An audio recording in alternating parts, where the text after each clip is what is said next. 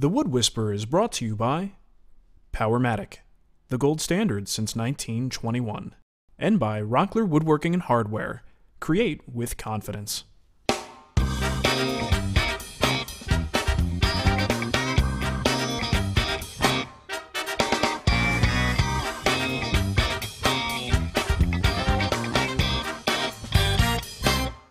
Okay, so the reason I wanted to do a live session in the first place, aside from, like I said earlier, just hanging out with everybody and uh, catching up with people, was the fact that there are a significant number of new users to the site. And that kind of was what caused our uh, crushing blow to our server that, that caused us to have to move. So now that we're on this new server, hopefully everything will be okay. But the point is, there were just a lot of new users. We, I don't know what's in the water, I don't know what's going around, but there's a lot of people who want to learn how to do woodworking. So I thought it would be cool to go back and visit some of the, the basics and some of the things that um, a lot of us may already know. You know, might be okay to review these things, but oil finishes and oil-based finishes are one of the uh, first things you kind of confront as a new woodworker as a potential finish to use in your shop. It's really durable, it's easy to apply, it's got a very small learning curve, so it's a great option. And the problem with it is there's a lot of confusion out there in terms of labeling what's an oil, what's an oil varnish blend, what's just diluted varnish, uh, how do these things work, what's more protective, and I just wanted to review that stuff with you guys. So, without further ado, let's jump into it. Okay, so the first thing I wanted to talk about are oils. Because essentially in the world of oil finishes, there's like two extremes. There's this simple, extremely easy to apply, but unfortunately not very durable type of finish, and that's your oils, your straight oils. They go on really easy. There's zero learning curve because you literally just flood it onto the surface, let it soak in, wipe the excess off, and you're done. But the problem with that finish is that it's not very protective. It doesn't block very much moisture, and it certainly doesn't do a darn thing for blocking abrasion. So you drop something on it, um, you're going to dent it if the wood is soft enough to be dented. So, um, hold on. The laptop just went dark. Why you do that, laptop? I hate you. It was my uh, energy settings. So when we look at the world of oil finishes, essentially you've got two things in the world of woodworking. One is boiled linseed oil, and the other is tung oil, which I don't happen to have right now. I usually just buy these big uh, big containers of the boiled linseed oil. It's just uh, cheap and, and, easy to find. Both of these will be found in varying quantities and in different forms in a lot of different finishes that we confront. But just know that these are really the only two that you're going to find. Now, boiled linseed oil, like I said, it's, it's easy to get. Home Depot and Lowe's carry this stuff. It's pretty cheap. And for the most part, there's not a huge difference between boiled linseed oil and tung oil. There are very slight differences. For instance, boiled linseed oil adds a little bit more of an amber color to the wood. Tung oil is a little bit clearer. It doesn't quite amber up the wood quite as much. But as a result, if you're doing something like popping the grain and you want that uh, color to assist in that sort of popping reaction, boiled linseed oil is probably your best bet because it brings the most color to the situation. Uh, but tung oil is generally considered to be the better quality of the two oils.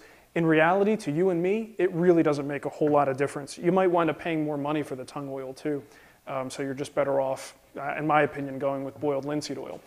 Now, to talk a little bit about terminology, boiled linseed oil, well, in the past, from what I understand, it used to be boiled, and it was something that would help the oil cure. By giving it that heat exposure, it would sort of polymerize it and get it to a point that when you lay it on the surface, it doesn't take days to dry. Well, nowadays they do that chemically. They add dryers to the oil, and that's what helps it cure quickly. Now, when you buy tung oil, you want to make sure, see, and this is where things get crazy. We'll talk about some of the marketing crap later. But tung oil is something where, for instance, this says tung oil finish. Well, that's pretty confusing because the problem is it's not pure tung oil.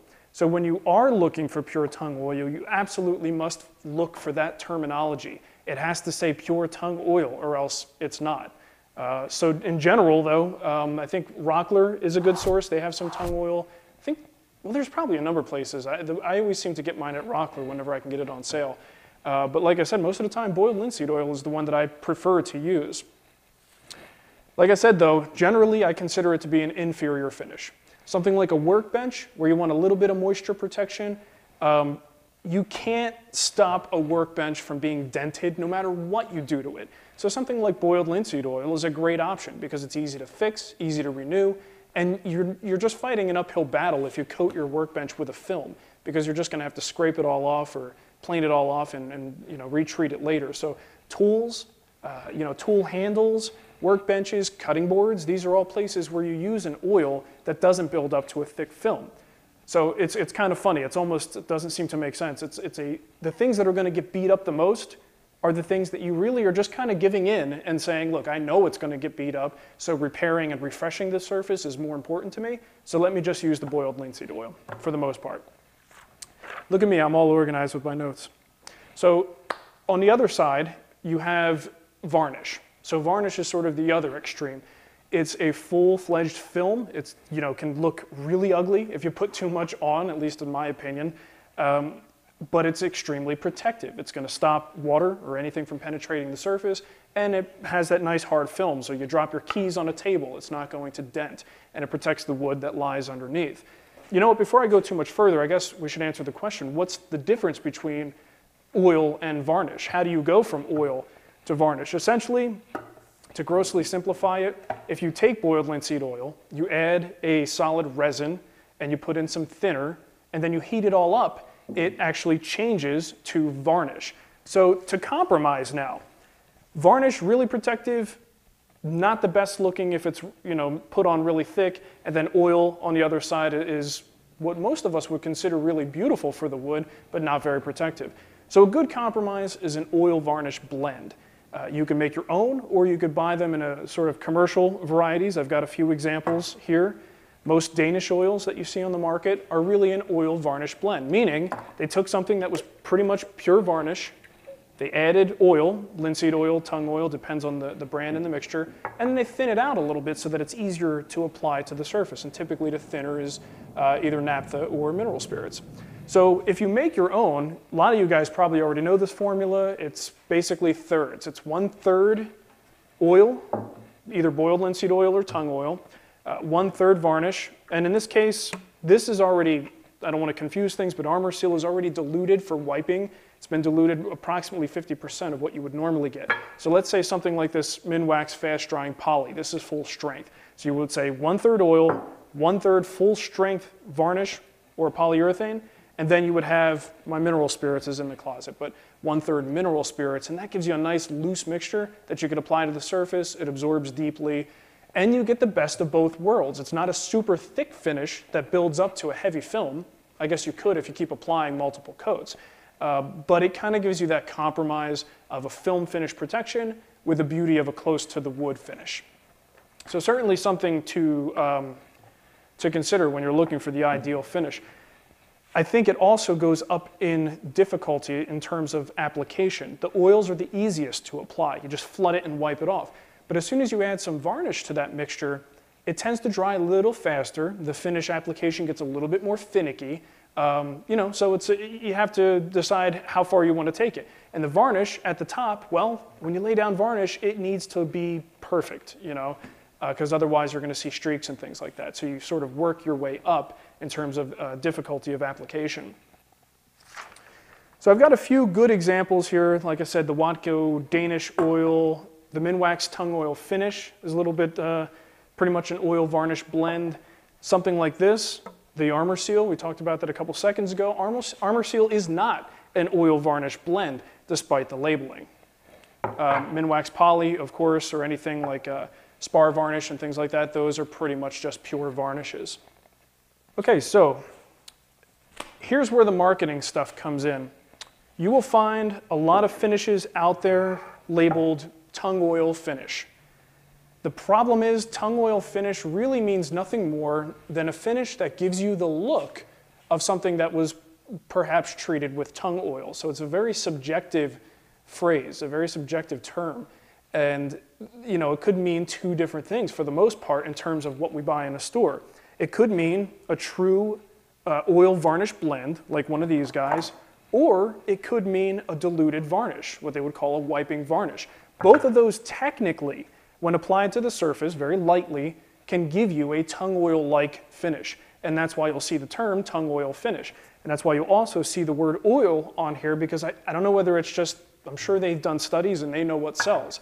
Uh, it's their product. So they found that if you put oil on the label, it sells better than if you just call it polyurethane, like this one is called. But the reality is, this is just a diluted varnish, and these two actually do contain oil. So, how do we see past the marketing jargon? I've been messing with this glove, and I don't really need it yet.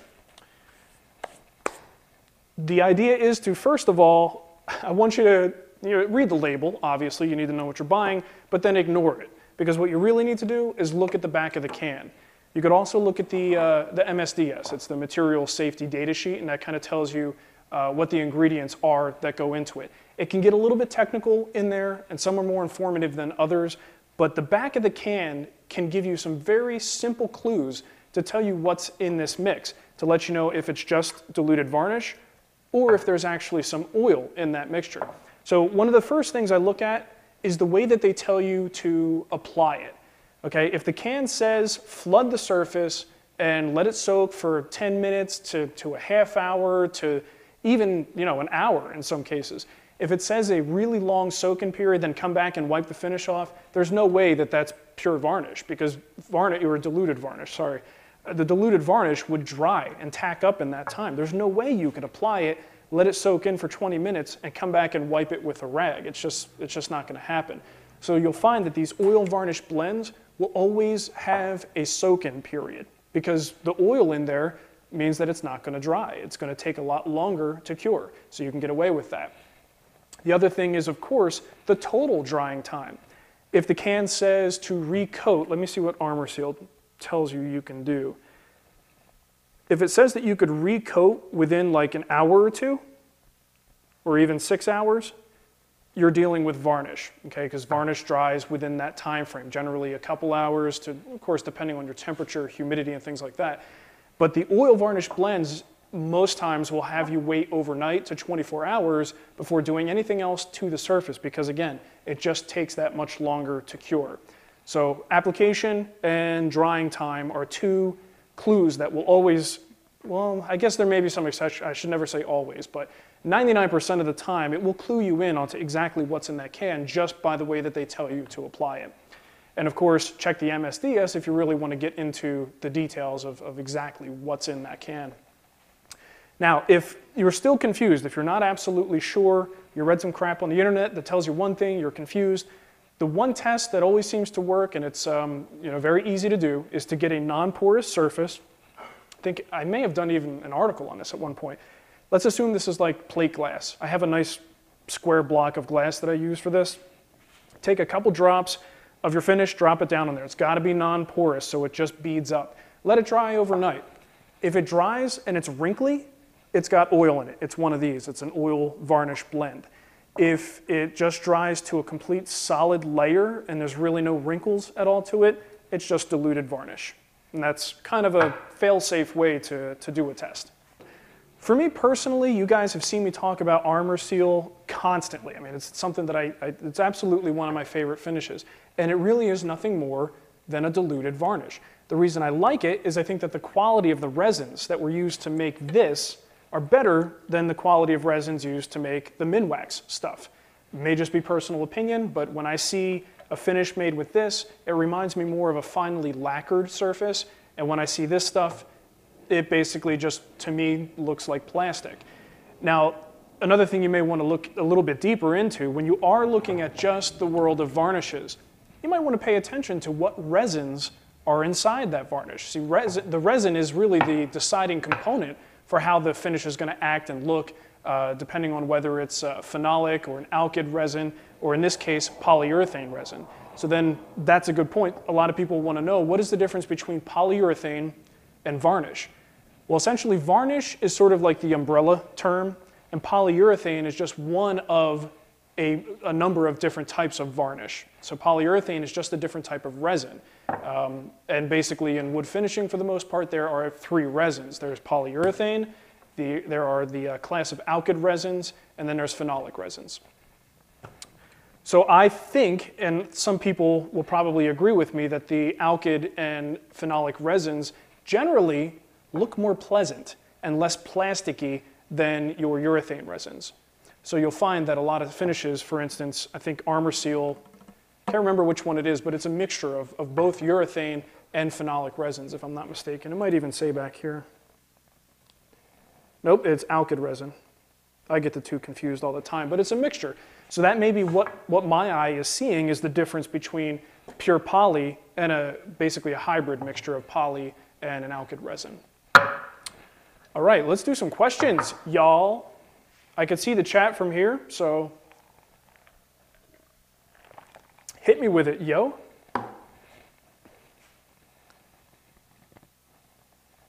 Well, you know, gun stocks, you could find, I know there's forums out there dedicated to how to treat, finish, and handle gun stocks because, you know, people like to get picky about that stuff.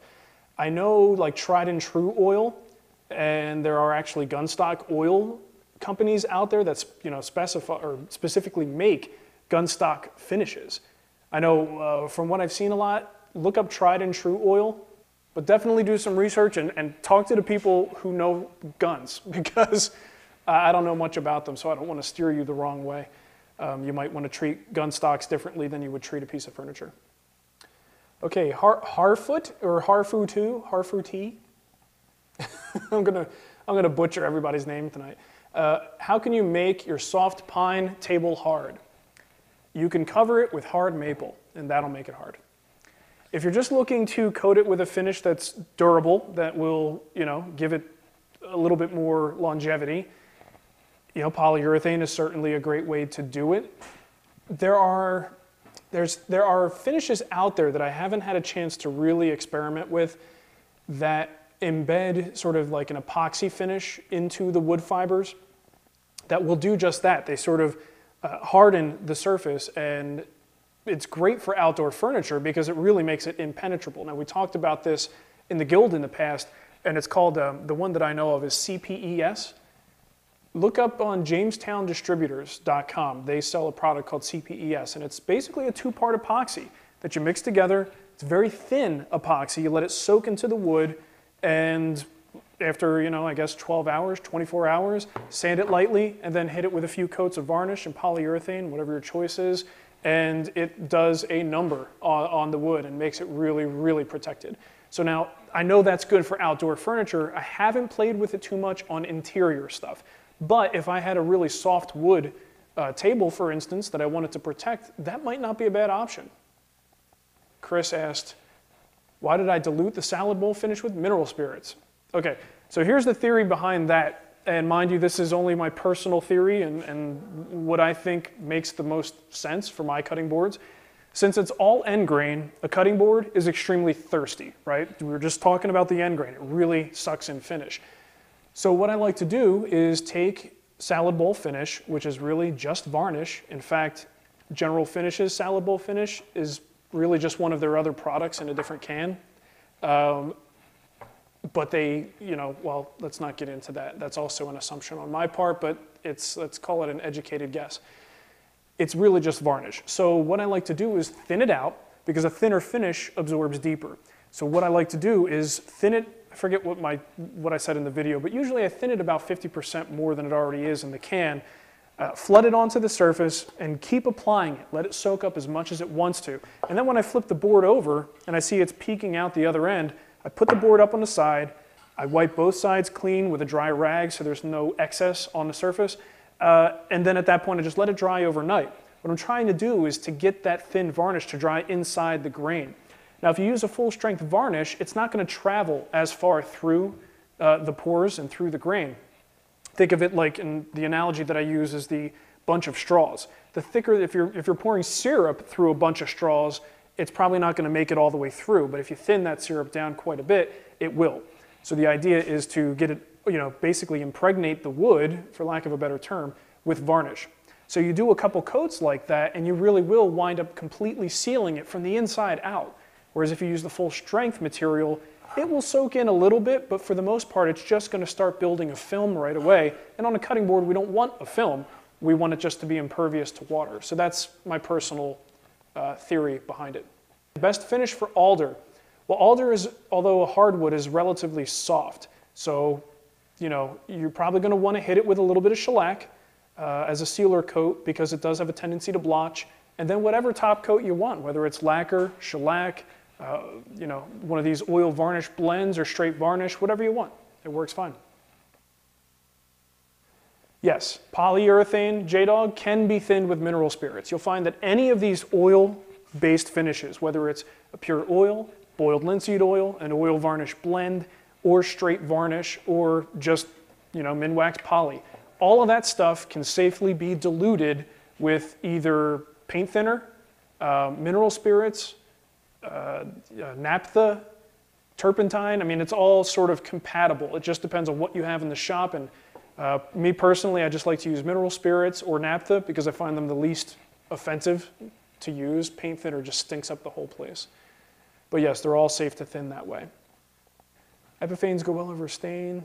Yeah, Epiphanes goes great over stain. Epiphanes is nothing more than varnish.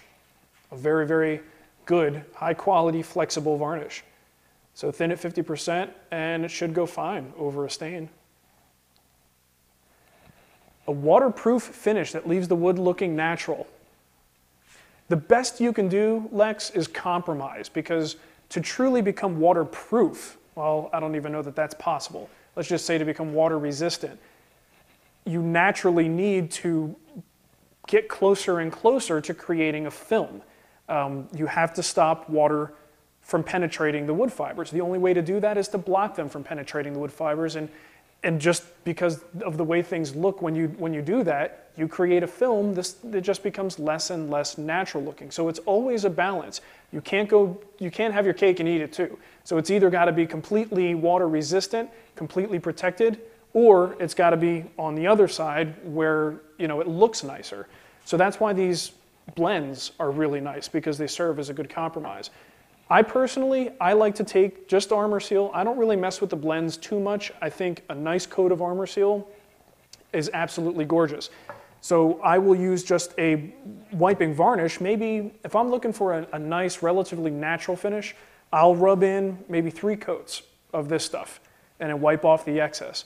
And it's pure varnish, so you're gonna get a decent amount of protection, but it's a really thin varnish, and you won't get a super, super thick build. But again, it's, it's a compromise. Uh, I have used lye on cherry. Uh, Johnny Yuma asks, uh, you know, you can do that. Here's the problem. It's extremely, you know, basic. It's, it's caustic. It's not really something, if you can avoid it, I would say avoid it. I mean, it works. When you put uh, a basic solution like pure, what is it, Red Devil that you can get in the, in the hardware store, or Drano, you put a solution of that stuff onto the wood, especially it's primarily cherry, it's gonna really, really darken in a hurry. But you know what else does that? The sun.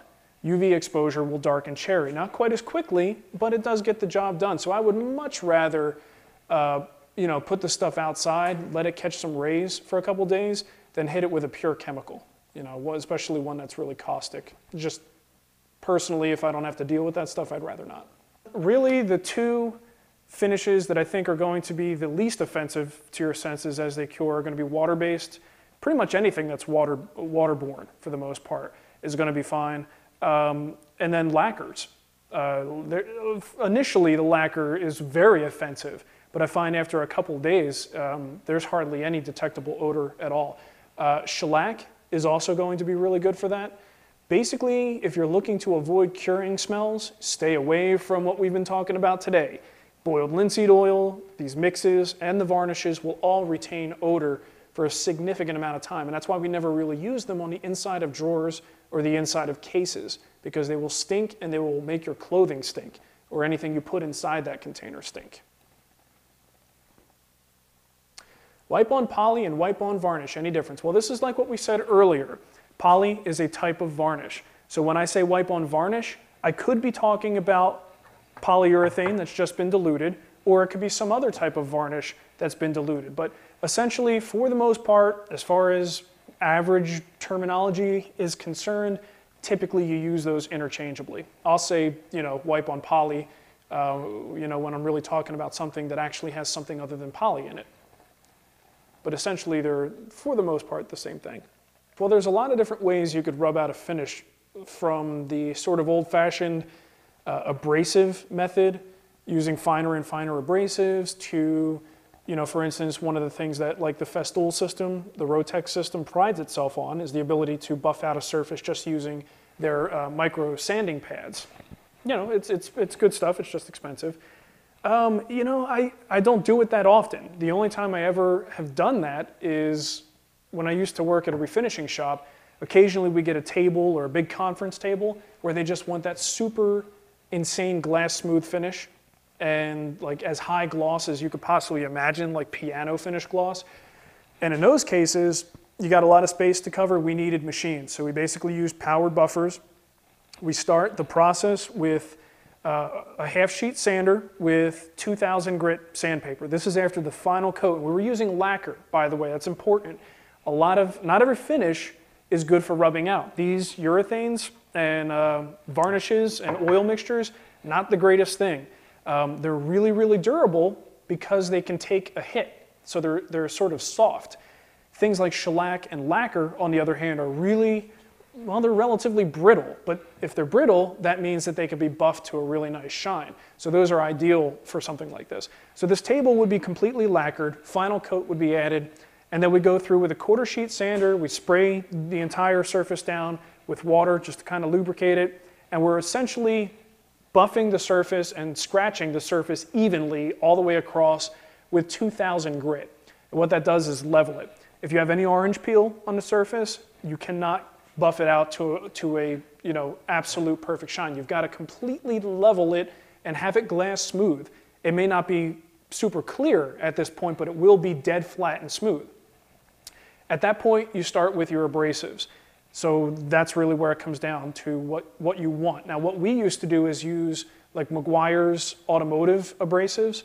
Is typically a two or three part system of abrasive, um, uh, you know, gel type material. You squeeze it out on the surface. You've got your buffing pad, and you're just being careful not to burn through the lacquer. You just do the best you can, and move up until finally your last step is like the swirl remover, and that was the process that we used. In the shop, there's a lot more manual ways you could do it. I've got a couple little containers, uh, I've made little homemade shakers of you know, rotten stone and things like that where you could put those on a surface and just progress through finer and finer abrasive powders. Uh, there's quite a few different ways you can do it. Is there any difference in using pore fillers with the different finishes? Well, pore fillers come in different varieties just like finishes do. You've got uh, your oil-based pore fillers, you can make your own pore filler by taking some of this oil varnish blend and sanding it into the surface. That'll fill the pores. Uh, and you can use water-based. Um, for instance, it's all the way over there, Timbermate wood filler is not only great for you know filling little cracks and voids and things like that, like a standard um, you know wood putty would be, but you can dilute it in water and make an incredibly good wood filler out of it or a pore filler out of it. And you can color match it, make it whatever color you want, spread it over the surface, sand it down. But it is water-based and it will reactivate with water. So you have to be careful what you then add on top of that. So if I was using something that was water-based, I'd probably coat it with some shellac to seal that stuff in and then hit it with whatever top coat I wanted to. If you're using an oil-based top coat, you could probably avoid the shellac layer if you wanted to because the oil's not going to pick up the, the water-based filler.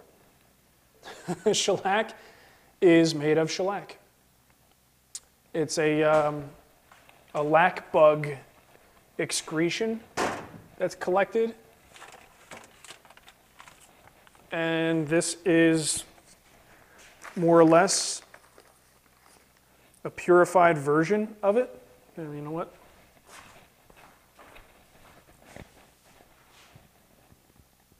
Comes in these little flakes.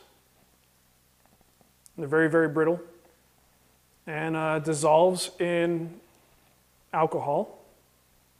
And that's it. It's about the simplest, most natural, purest finish you can use. It's on typically on a time released medication.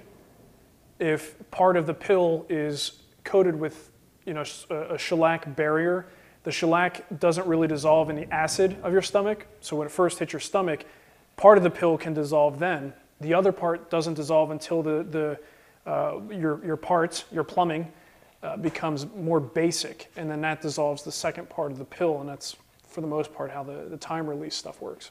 That's tricky. And you know what? There's a good thing that I don't know. Every situation is a little bit different. There is the, that would be the major, major drawback to a varnish finish. We talk about it being more protective. Well, it's gotta be, because if it doesn't protect the finish and it, or the, the wood and, and you get something you know, that really penetrates it, it's a very difficult thing to repair.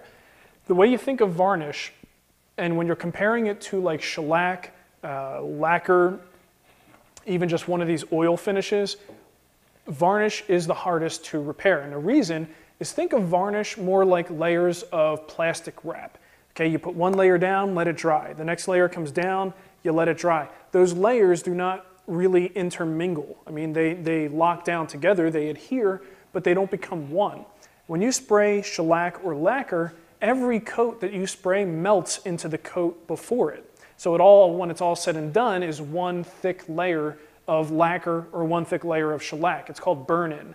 You don't have that with varnish, unfortunately. So if you, let's say you get a scratch and you want to just repair that scratch, if you start sanding and you burn from the topmost layer into the next layer, what that does is creates what they call like witness lines. Wherever you burn in, you'll see that ridge of the, the, the varnish where you burn in from one layer to another.